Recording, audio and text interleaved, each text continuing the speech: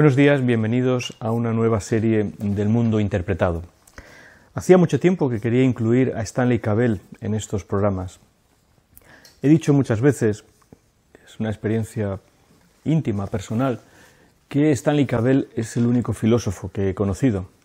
He conocido muchos profesores de filosofía, algunos de ellos mejores que otros y algunos de ellos increíblemente buenos profesores de filosofía, pero solo he conocido lo que podríamos llamar eh, como filósofo a Stanley Cavell. Esta distinción entre filosofía o entre filósofo y profesor de filosofía me parece relevante. Está en uno de los libros que Stanley Cavell eh, nos ha enseñado a leer, Walden, de Henry David Thoreau.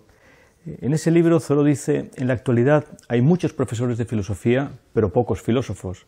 Sin embargo, añade Thoreau, es admirable profesar la filosofía porque un día fue admirable vivirla. Yo creo que esta distinción eh, empieza a ramificarse de muchas maneras a propósito de la obra de Stanley Cavell. Para mí fue realmente la revelación, en un término eh, no necesariamente enfático, cotidiano, la manifestación, el darme cuenta de que tenía un filósofo, no solo un profesor de filosofía.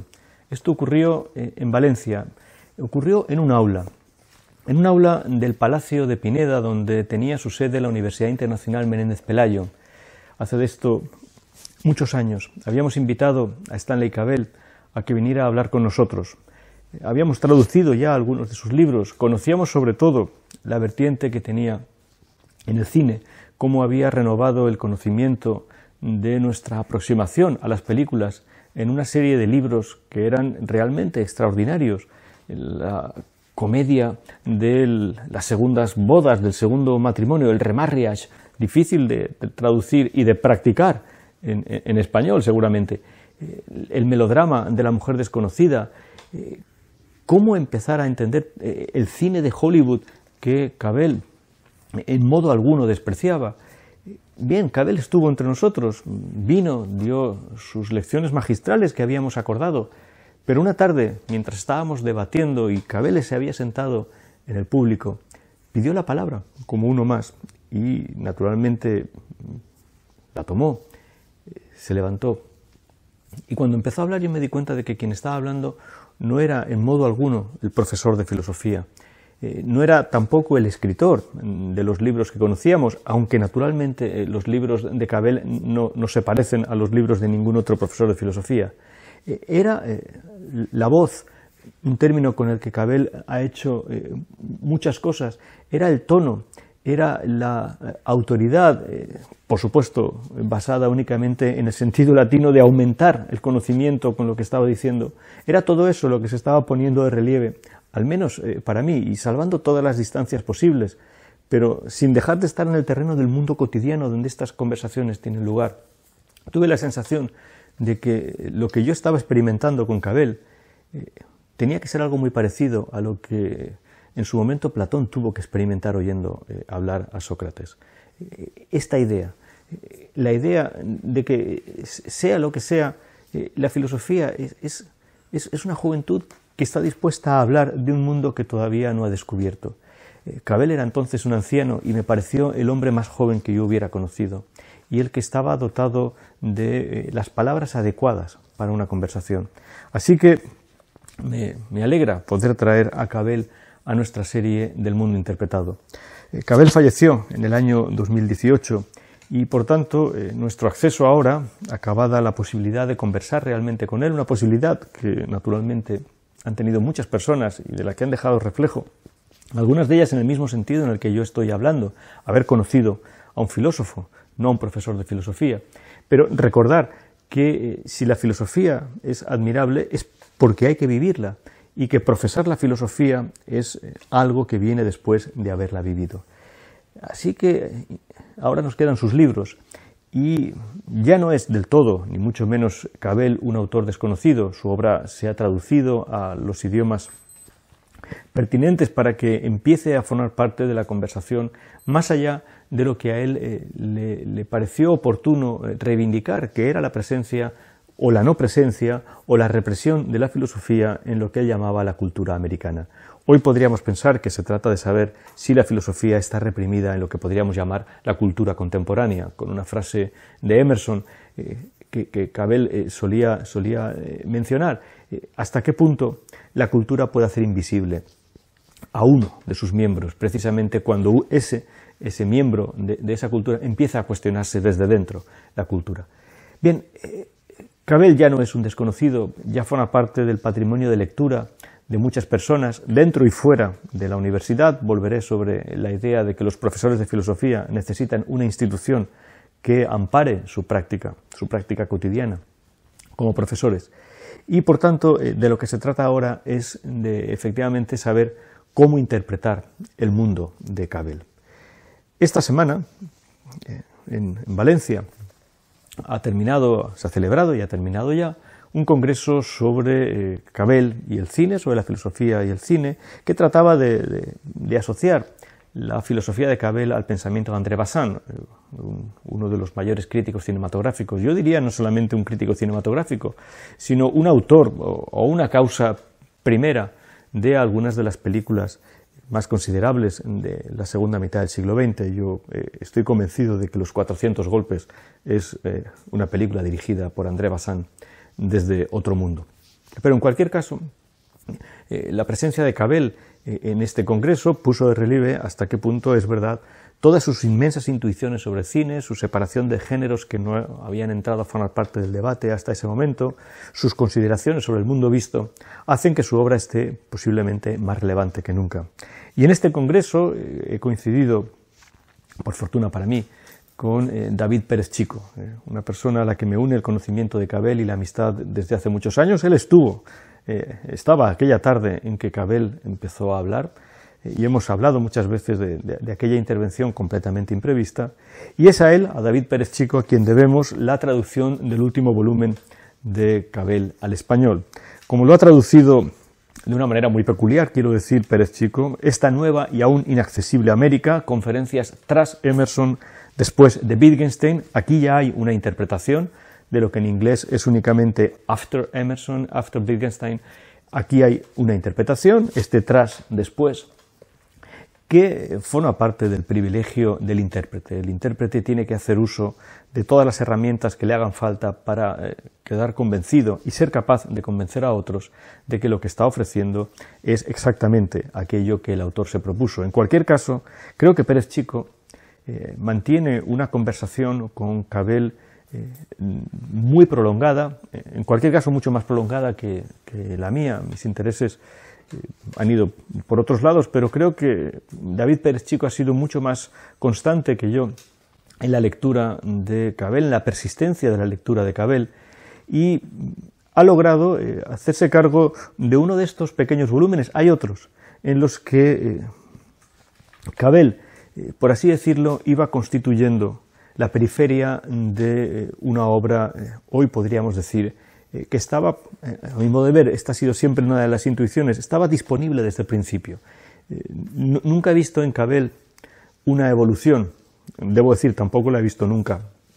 En Platón es como si toda la obra de Platón o toda la obra de Cabel estuviera disponible desde el principio de alguna manera y luego solo hubiera que ir delimitando muy bien eh, dónde poner cada una de las piezas.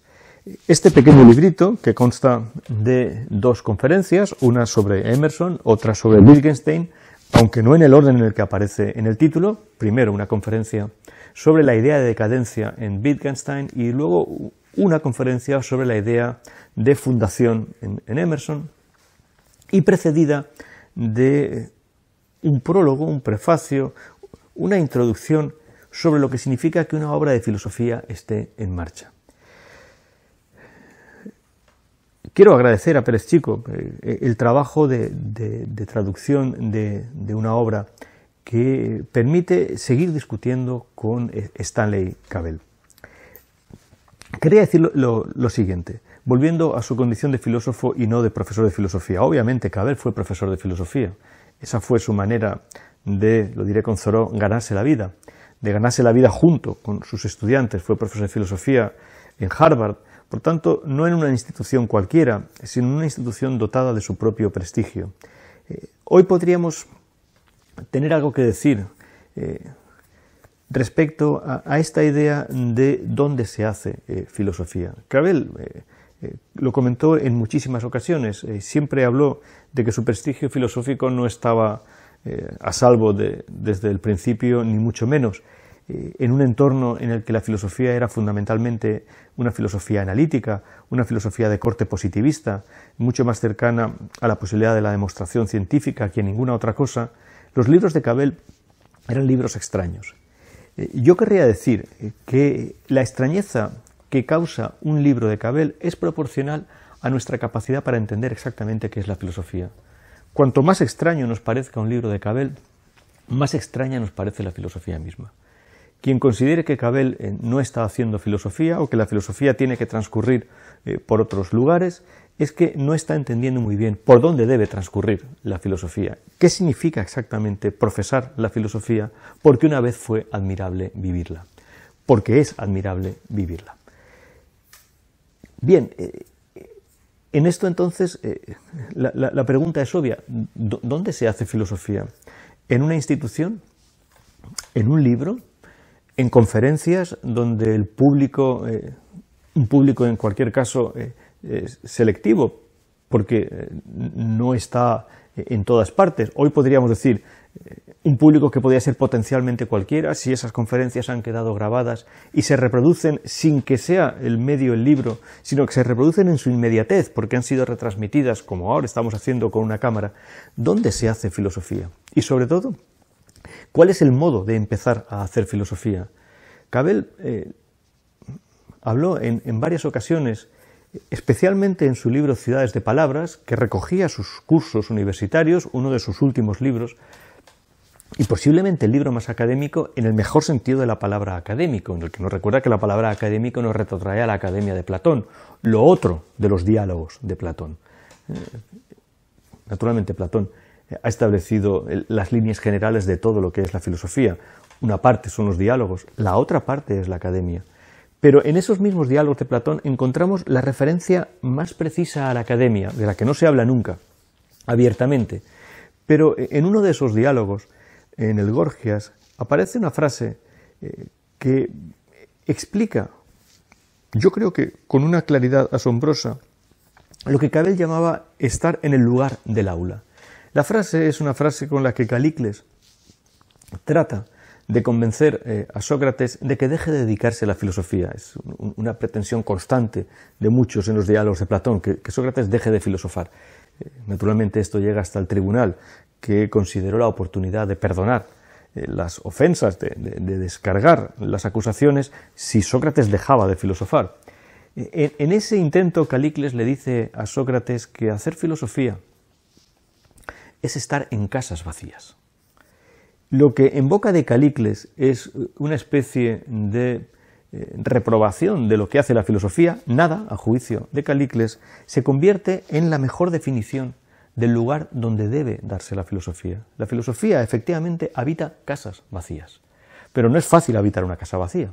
Necesitamos donde sentarnos, necesitamos donde apoyarnos, necesitamos donde comer, donde hacer que transcurra lo que Cabel llamaba con Wittgenstein nuestra vida cotidiana, lo ordinario, lo común. Luego la casa vacía es ya un pensamiento difícil de establecer, no es lo habitual que habitemos en casas vacías. ¿Qué, qué significaría entonces que la filosofía habita en una casa vacía?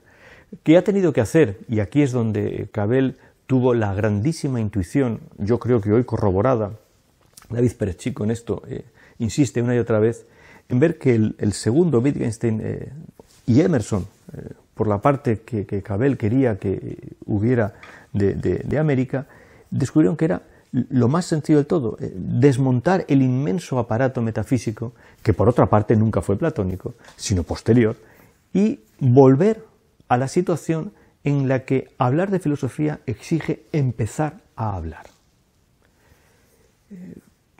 Pérez Chico, con, una intuición que yo eh, quiero tener tiempo para llevar adelante, y que le agradezco porque me ha insistido en ello en las dos últimas ocasiones en las que nos hemos encontrado, argumenta que eh, todo lo que eh, Cabel quiere llevar a cabo no se encuentra solo en su obsesiva lectura, obsesiva en un sentido simplemente de recurrencia, de, fijación, en su eh, lectura de las investigaciones filosóficas, sino sobre todo en otro texto de Wittgenstein que Cabel eh, nunca ha interpretado, al menos por escrito, probablemente formara parte de algún momento de las clases, sobre la certeza. Bien, no entraré ahí, ya digo que es algo que Pérez Chico insiste una y otra vez en que debo hacer, o en que debe hacer todo lector de Wittgenstein que tiene a Cabel como referente para esa interpretación. En cualquier caso, la casa vacía me parece una de las eh, metáforas más apropiadas, porque eh, a diferencia de Pérez Chico, eh, cuya traducción he estado leyendo durante todos estos días, yo, no, he seguido permanentemente leyendo a Cabel. Creo que hice ya la lectura que necesitaba en aquel momento y guardo sobre todo esta imagen casi de memoria. en esto cualquier lector del inicio del Parménides recordará el guiño que estoy haciendo. Lo que quiero decir es que eh, el asunto es eh, que con Cabel tengo la sensación de que conforme he ido eh, reflexionando, haciendo este acopio de la memoria de lo que para mí significó encontrarme con el filósofo, me encuentro realmente con el hecho de que tras todo este inmenso, esta inmensa necesidad de discutir al segundo Wittgenstein, a Emerson, a Thoreau, a otros en menor medida, el, fallido diálogo con Derrida, su lectura muy peculiar de Ser y Tiempo de Heidegger, naturalmente Austen, y por supuesto eh, su inmensa contribución a lo que ha hecho sobre el romanticismo, sobre Shakespeare y sobre el cine, lo que encuentro es cada vez más una familiaridad eh, con el entorno mismo de los diálogos platónicos. Es como si Cabel hubiera tenido necesidad de recordarnos que de lo que se trata es de volver a esa situación de partida a una situación de partida que por otra parte es muy difícil de lograr, la casa vacía. De una manera explícita, eh, Cabel prologó eh, un libro sobre la República de Platón y en su libro Ciudades de Palabras consideró la posibilidad de acabar sus temas de perfeccionismo moral con una alusión a una serie eh, de temas que podía encontrar perfectamente en la República de Platón. Y esta recurrencia eh, en Platón, cuando de Platón no se hace otro uso en la universidad que el de incluirlo, cuando eso sucede, en los cursos correspondientes a filosofía antigua, me parece un último hallazgo de Cabel que tiene que ver, en última instancia, con lo que este libro eh, pone de relieve. El libro fundamentalmente trata dos categorías. ya he dicho que Pérez Chico ha interpretado eh, su, traducción y, yo no tengo eh, nada que objetar a su interpretación de lo que el texto de Cabel dice o deja de decir.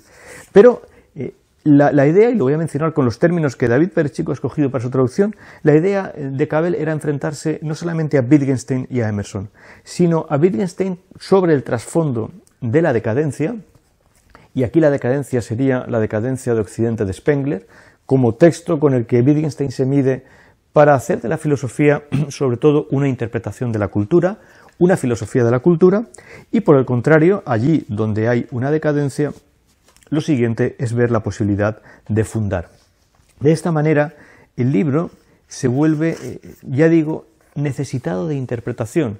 No estoy muy seguro de que yo hubiera traducido conferencias tras Emerson y después de Wittgenstein, eh, pero lo que sí que tengo claro es que el lector se encuentra con este libro eh, ante toda una reflexión, primero sobre la filosofía y después sobre el encuentro de la filosofía con la cultura en la que tiene que acogerse, dándole la palabra cultura el marco más amplio. Y es curioso que el libro invierta lo que podríamos llamar el término histórico. Eh, lo normal, entre muchas comillas y reservas, sería hablar primero de una fundación, y después ver eh, si aquello que se ha fundado eh, empieza a decaer. Pensemos naturalmente en la obra de Gibbon, que menciona el marco sobre el que Spengler tuvo que trabajar, la historia de la declinación y caída del Imperio Romano, que constituye la falsilla sobre la que trabaja Spengler. Podríamos decir, Tal vez Spengler no tuvo necesidad de Gibbon en la medida en que entre ambos queda un filósofo inmenso como Hegel, del que hoy sabemos que hizo una lectura muy profunda de Gibbon durante su etapa en Berna, muy poco tiempo después de que el propio Gibbon abandonara Suiza. Así que eh, tenemos la necesidad de pensar que en términos históricos quizá eh, el itinerario habría exigido que empezáramos por fundar y acabáramos por ver qué ocurre con la decadencia de una fundación. Cabel invierte los términos y esa inversión de los términos creo que vuelve el libro eh, fascinante para entendernos a nosotros mismos, como si realmente no pudiéramos fundar sin haber hecho cuentas antes con lo que pueda significar una decadencia.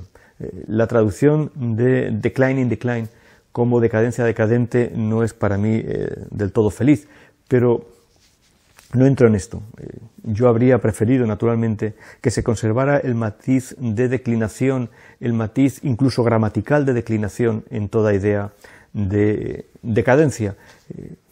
Pero esto es una consideración al margen y forma parte de la inmensa fruición con la que los lectores de Cabel interpretan sus obras y de la propia riqueza de los términos de Cabel. En cualquier caso, si fundar no es eh,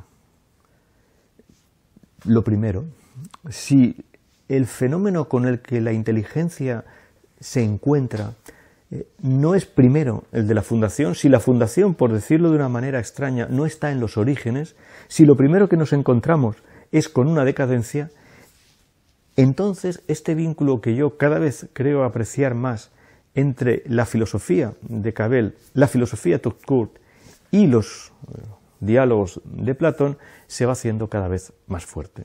De nuevo, la casa vacía eh, casi eh, exige la idea de que esa casa no es la casa primigenia, de que ha de haberla, hemos de haberla vaciado. La casa originalmente estaba llena.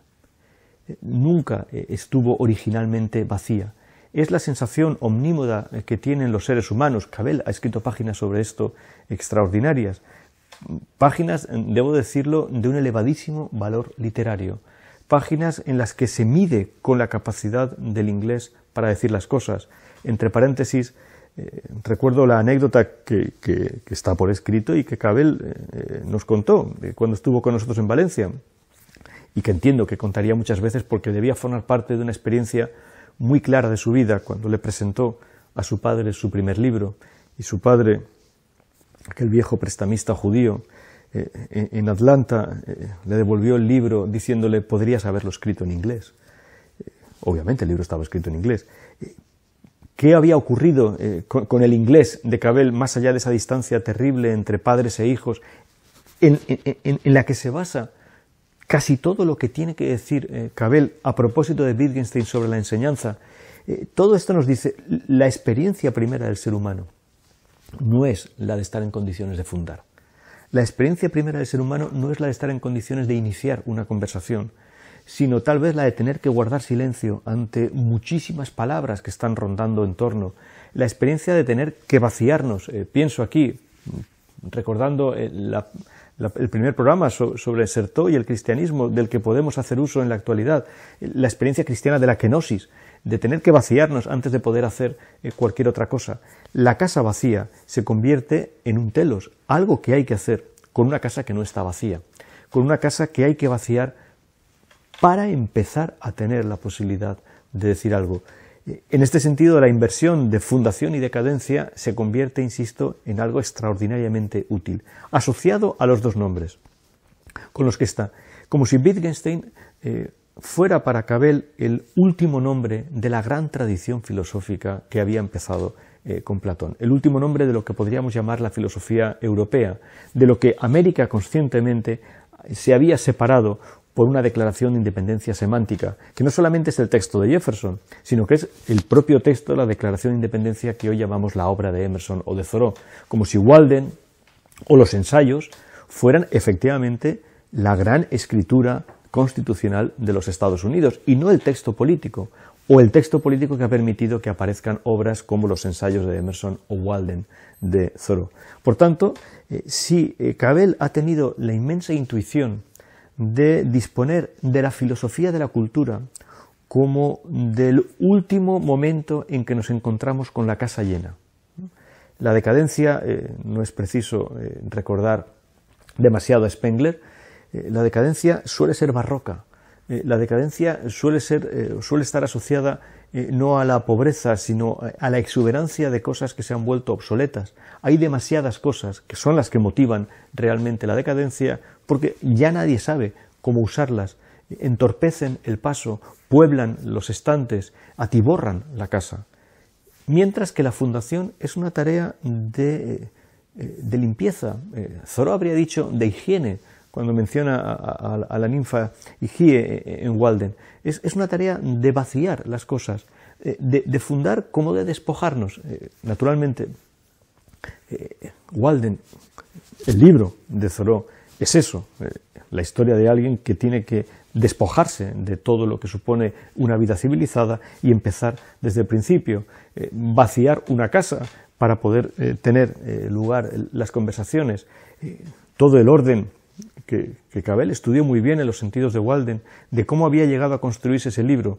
No solamente el sentido de que para que haya una mañana tiene que haber antes un duelo, ¿eh? el juego que Cabell hacía entre eh, cómo sonaba morning y cómo suena morning, como si fueran la misma palabra, pero tratando de saber cuál es la prioridad. Efectivamente, la primera experiencia no es la de la mañana, la primera experiencia es la del lamento, la de nuestra incapacidad de alabar el, museo en el que tiende a convertirse una vida cuando dispone de demasiadas cosas que no usa. La idea misma de museo es ya una idea de decadencia. La idea misma de una biblioteca que eh, no esté compuesta de libros vivos, de libros que estén continuamente diciendo algo, que salgan y entres de, los estantes y, establezcan con sus términos eh, conversaciones. Creo que este es uno de los libros más fascinantes que un lector ahora en español puede llevarse a cabo. Eh, y ha sido editado por la propia Universidad de Zaragoza, de la que David Pérez Chico es profesor, eh, lo cual empieza eh, a, abrir la posibilidad de que haya una esperanza para que hoy no sea solo posible profesar la filosofía, sino vivir la filosofía.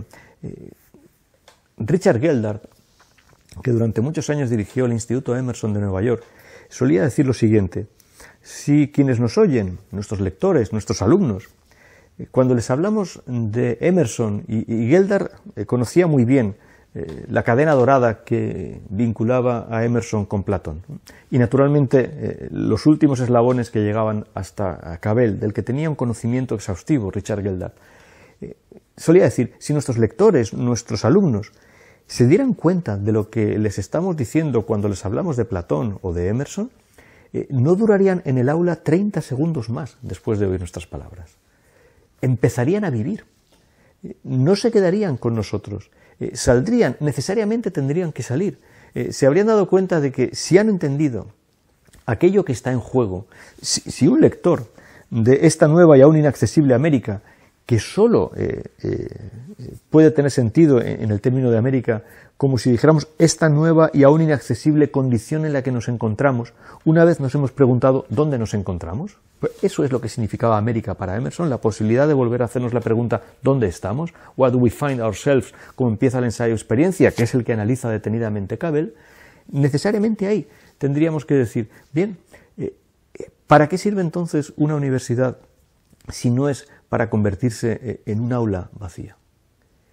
con todas las dimensiones que este término, lo que, insisto, Cabell llama el lugar del aula, eh, lo que ocurre en un aula. Eh, no una tarea de eh, llenar, no una tarea de atiborrar. las aulas no son lugares realmente de llenar a nadie. Casi podríamos decir que las aulas tienen que empezar a parecerse eh, a vestuarios, donde los estudiantes tienen que despojarse de todo aquello que traían para poder hacer el ejercicio al que están destinados a, llevar a cabo. Eh, nadie puede empezar a jugar su deporte con las ropas con las que ha venido de la calle. Por tanto, el aula es eso, eh, un, inmenso vestuario donde de lo que nos despojamos hasta lograr la desnudez completa del alma es de lo que nos entorpece. insisto en que no, no tengo eh, reparo alguno en, decir que esta nueva ocasión, y, son muchas las ocasiones, por fortuna para mí, en la que he de volver a Cabel, eh, me ha llevado a pensar radicalmente que no se puede profesar la filosofía eh, si no se vive. Que lo que tuve que sentir necesariamente siendo más joven, al darme cuenta de que Cabel no era un profesor de filosofía, o era un profesor de filosofía en segundo plano, pero que el primer plano, en el foreground, estaba el filósofo, es que si uno no vive la filosofía, profesar la filosofía se convierte en una impostura. Los filósofos tienen una palabra para los impostores, sofistas. Eh, el sofista no, está carente de inteligencia, eh, el sofista no es ignorante, no es un lerdo, no es por supuesto otra cosa, no es un político, pero el sofista no está en condiciones de vivir todo aquello de lo que habla. Esa fue la clave de mi comprensión. Yo creo que eh, utilizar, insisto, el término revelación es perfectamente pertinente. Eh, no lo había visto antes de darme cuenta de ello con Stanley Cavell. Y gracias a esa revelación, eh, lo que en el programa anterior llamábamos el cara a cara, en el que Michel Desertot cifraba la, precisión, la exactitud misma de la pedagogía, de la enseñanza, de la educación, ese cara a cara con Cabel es el que después me ha permitido volver a leer lo que ya había traducido antes de conocerlo y lo que después traduje o lo que ahora leo, por ejemplo, eh, el libro que David Pérez Chico ha puesto eh, a disposición de todos nosotros, como si necesariamente yo tuviera que hacer la misma operación con la que Cabel se presenta. Eh, si, si él no se presenta como profesor de filosofía, yo no puedo leer este libro como si la filosofía fuera únicamente el intento de acopiar algunos conocimientos de lograr eh, atesorar algo más que no tenía, de sumar un libro al estante, de ampliar mi, cuenta corriente existencial. No, lo que Cabel eh, había previsto, que es naturalmente, insisto, lo que está desde el principio en los diálogos platónicos, es si esto lo estás leyendo como realmente ha sido escrito, entonces no puedes leerlo con independencia de lo que vayas a hacer inmediatamente con tu vida. La idea de que la lectura de la filosofía, de que la experiencia de la filosofía exige algún tipo de conversión, recorre toda la obra de Cabel. Eh, es, un mérito suyo que haya recuperado eh, a Emerson para esto, eh, y a Thoreau, naturalmente, y que haya logrado que casi lo sensato sea lo siguiente. gracias a Emerson podemos leer decentemente a Heidegger. En ausencia de catalizadores como Emerson y Thoreau, buena parte de los filósofos eh, habituales, de los filósofos sobre los cuales no hay dudas en los cánones y programas, se vuelve irrelevante. Eh, es la lectura de Emerson y Thoreau, como la del segundo Wittgenstein, la que ilumina el primer Wittgenstein. Es la lectura de, Walden la que ilumina todo lo que Heidegger pueda decir sobre habitar y pensar. Esta es la clave. De otra manera, si no es así, sin, necesidad, insisto, de eh, hacer de ello un existencialismo eh, barato, eh, un existencialismo que en última instancia es falso. Eh, a quien tratamos en el anterior programa, decía que la angustia no forma parte de ninguna de nuestras consideraciones reales, inteligentes. Una persona que hace de la angustia una incapacidad para seguir pensando y viviendo, está equivocando desde el principio su pensamiento. Por tanto, llamar a esto existencialismo tiene que serlo de otra manera. Todas las páginas que Cabel dedica al romanticismo tienen que ver con esto en qué medida el romanticismo, él mismo un obstáculo para la expresión de nuestra tarea natural, de un derecho a la alabanza de nuestra existencia, tiene que ser comprendido precisamente a la luz de todos estos planteamientos. Eh, un romanticismo como el de Wordsworth necesita eh, eh, que Emerson lo compense. Walden mismo es una lectura de Coleridge y de la Oda al abatimiento que sería el texto existencialista. Este es el tipo de cosas que Cabel eh, nos ha intentado hacer ver. En modo alguno, eh, ni siquiera su, libro sobre el melodrama de la mujer desconocida permite pensar que lo que eh, tenemos delante sea una tragedia. David Pérez Chico explicó esta semana su elección del título Más allá de las lágrimas para traducir Contesting Tears y, efectivamente, más allá de las lágrimas significa que las mujeres de esos melodramas, en estas cuatro películas que Cabel llamó el melodrama de la mujer desconocida, no pueden quedarse en las lágrimas que son únicamente una condición eh, que obstaculiza su desarrollo, que obstaculiza su derecho eh, a la existencia. Y naturalmente, cuando en lugar de encontrarnos con el melodrama de la mujer desconocida, nos encontramos con la inmensa fiesta de la inteligencia que son las comedias de Remarriage, cuando eh, Cabel dice, parece que los guionistas de estas películas hubieran aunado a su conocimiento de Shakespeare una práctica eh, extraordinaria en el manejo de la filosofía, del diálogo filosófico, cuando lo que nos encontramos es con eso, entonces no tenemos ninguna duda de que ante la fiera de mi niña o historias de Filadelfia no estamos ante un subproducto de la cultura, sino ante un producto genuino de la cultura.